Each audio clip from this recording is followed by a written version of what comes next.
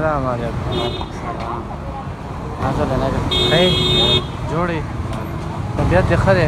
سلام نه وم وای تا نه وم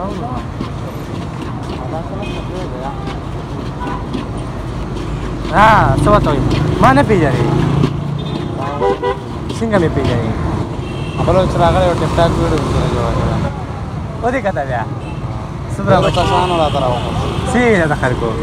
ما دوی دا ستا ویډیو ده ما دا نو دې سم د نورتو خبرې وکړي ما ما ته چې کولې ښه ما خلکو ته خول چې پښتانه څنګه خلک دي ورسېدې دومره د نورتو له کروڑو روپو خبرې دې کول ورسېدې دومره مشهور ټول پېښور وکړي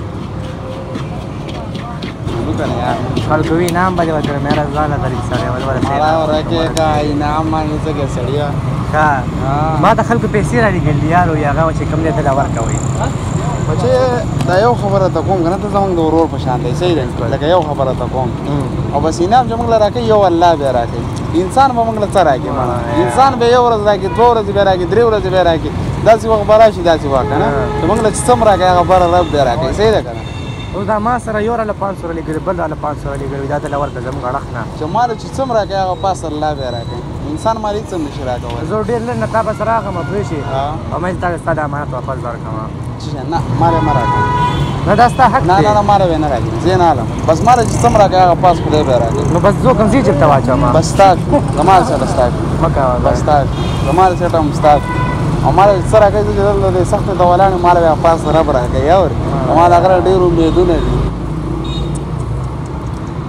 دا اوس څوک دا ستا امانت نه بس دا ستا زما سره به ته خو یو جوس وسله او کني چې زه روان دل ته یو شربت وسله انا کوي چې دا خلکو دی ورکوم چې تاسو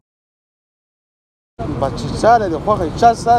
زړه مرزي کنه او چاله ورکه بس را بخلی دي ما ته ما ته در بخلی دي زړه باندې اوس یو ځل بیا غاړه زنده باد څه خدمت دی ها بس باندې اوس یا تاسو زو میرا هه چې